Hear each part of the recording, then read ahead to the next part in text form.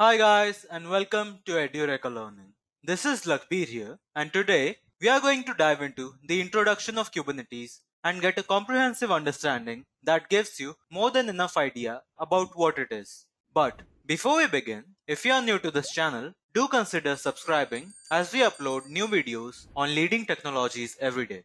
Also, hit the like button and if you are looking for online certification on DevOps, check out the links in the description box below. So, let's start by defining our agenda. These are what is Kubernetes or K8, why you need K8, how Kubernetes is useful, features of Kubernetes, and then we will look at what Kubernetes is and is not, and later on we will have a hands-on demo. So, stay till the end of this video to apply what we are learning. So, what is Kubernetes? Kubernetes, also known as K8, is an open source system meant for automating deployment, scaling, and management of containerized apps, and it is used alongside Docker in most cases, which is the leading container solution in the market. The containerized applications are essentially packaged applications that run in isolated environments called containers. These containers encapsulate app with all dependencies like libraries, binaries, and system files. Also, one quick fact about Kubernetes is that it was developed by Google and written in the Go language. Since Google made it, it was heavily tested even before it was launched in the market. So, it has a reliability factor to it. Now, let's look at the need of Kubernetes.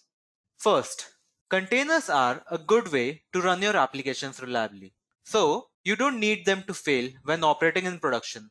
In a production environment, you need to manage the containers that run applications and ensure that there is no downtime. This is what Kubernetes does as it enables everything to operate smoothly. Kubernetes provide you with self-healing, secret management and configuration management and load balancing in addition to service discovery. First, let's take a look at self-healing part. This is one of the favorite things about Kubernetes according to me as Kubernetes can restart containers that fail and replace container and kill those containers that don't respond to user-defined health check parameters. The secret and configuration management lets you store and manage sensitive information like password and tokens or SSH keys. It deploys and updates secrets and app configuration without the need for rebuilding the container image entirely. And load balancing. If the traffic is high, Kubernetes is able to load balance. This distributes the network traffic so that deployment is stable. Now, let's look at how Kubernetes is useful. To understand that, we have to take a short history lesson. At first, we had traditional deployment era in which organization ran applications on physical servers. During this time, there was no way to define boundaries for applications and this resulted in resource allocation issues and multiple others. As a solution to this, virtual era came, which allowed for multiple VMs to run on a single physical server's CPU. Virtualization allowed applications to be isolated between VMs and provide a level of security and better utilization of resources in a physical server. This also allows for better scalability because applications can be added or updated easily. Now, the VMs were amazing as they were, but containers took it to another level. The containers have relaxed isolation properties to share the operating system among applications. This makes them lightweight. Decoupled from underlying infrastructure, the containers are portable across clouds and OS distributions. This brings us to the usefulness of Kubernetes. First, it should be understood that Kubernetes manages containers. Though other containerization apps exist like Runc and Containerd, Docker is the most popular and Kubernetes is compliant with it.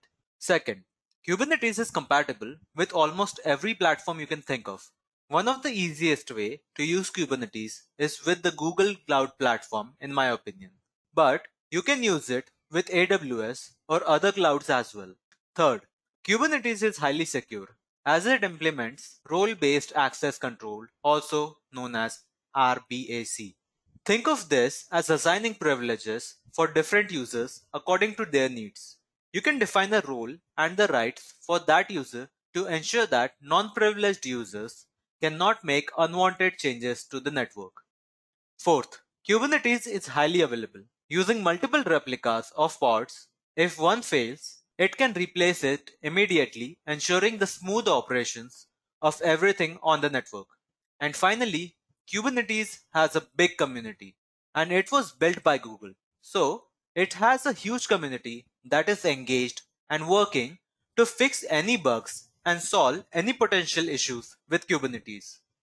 Features of Kubernetes. Here we look at major Kubernetes features. These are automatic bin packing. You can provide Kubernetes with a cluster of nodes that it can use to run containerized tasks. You can tell Kubernetes how much CPU and memory each container requires. Kubernetes can fit containers onto the nodes to make the best use of the resources available. Storage orchestration. Kubernetes allows you to automatically mount a storage system of your choice, which can either be local or cloud storage. Open source.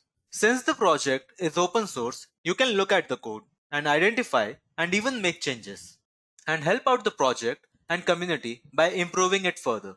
Automatic rollbacks and rollouts. You can describe the desired state for your deployed containers using Kubernetes, and it can change the actual state to the desired state at a controlled rate. Service discovery and load balancing. Kubernetes can expose a container using the DNS name or using their own IP address. If traffic to a container is high, Kubernetes is able to load balance and distribute the network traffic so that deployment is stable. Secret and configuration management. As talked before, you can store and manage passwords, tokens, or keys using Kubernetes effectively without exposing secrets in your stack configuration. And lastly, self-healing. We talked about this before. It is the feature of Kubernetes that make it fail-safe, where it can replace failed containers and kill those containers that don't respond or it can restart containers. Now, let's talk about what Kubernetes is and what it is not. Some common misconceptions that we know about Kubernetes are that it is for containerizing applications and that it is replacement for Docker and that it is best for every app that ever exists. So let's clarify. Kubernetes is best suited for applications with microservices architecture. Using Kubernetes with a simple architecture applications is not ideal and can even lead to performance issues. It is not a replacement for Docker. It just adds to the capabilities of a container tool by managing things better.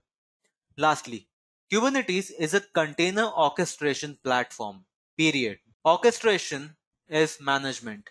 And you can think of Kubernetes as a conductor controlling the music played by a group of musicians. Now, this is where we will get our hands dirty. So let's dive into the demo. Here on my GCP, I have my master node and my worker node deployed. I have already set this up. So let me go ahead and show you. Now, our objective here is to deploy an Nginx web server. Here I have my master node and my worker node has already been set up using my GCP. So if I type in here kubectl get nodes, I can see my worker node on which I'm currently working and my worker node which is connected. Now, as our objective is to deploy an Nginx web server, I'll be writing some commands here. So let's create the deployment. I do this by typing this command. Now that I have deployed this, I can see it as well. Now, as you can see, I have one deployment ready to go. You can find out more information about this by typing in kubectl describe deployment followed by the name of your deployment. So here you can click at the information available. So as it says here, we have Nginx container and we provided the image of Nginx. And you can see other variables here such as replica sets as well. Now what I'm going to do is I'm going to create the service.